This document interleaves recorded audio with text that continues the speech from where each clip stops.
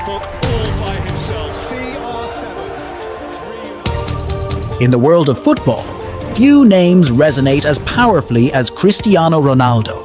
But behind the glitz and glamour lies a story of relentless determination and incredible resilience. Cristiano Ronaldo dos Santos Aveiro was born on February 5, 1985, in the small island of Madeira, Portugal.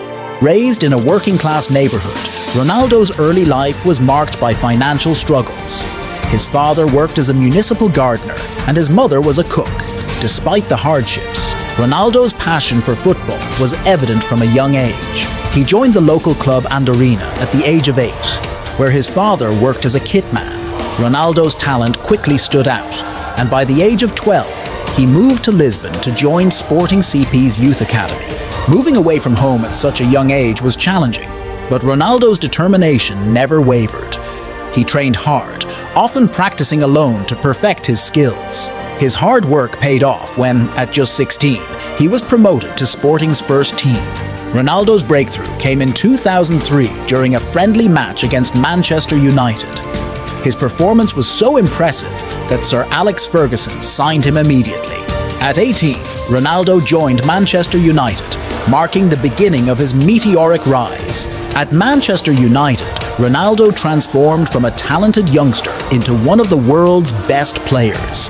He won three Premier League titles, a Champions League trophy, and his first Ballon d'Or in 2008.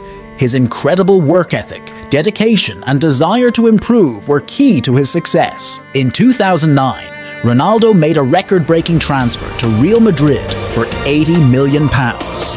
His time in Madrid was nothing short of legendary. He scored 450 goals in 438 appearances, won four Champions League titles, and claimed four more Ballon d'Or awards. His rivalry with Lionel Messi pushed him to new heights. Ronaldo continued to shine after moving to Juventus in 2018, adding more titles to his collection.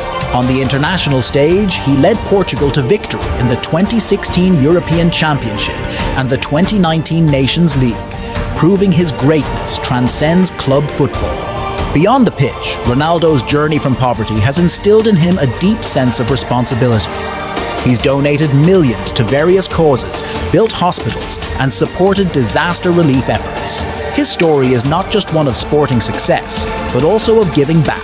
Cristiano Ronaldo's rise from a poor boy in Madeira to one of the greatest footballers of all time is a testament to his hard work, perseverance, and unyielding spirit.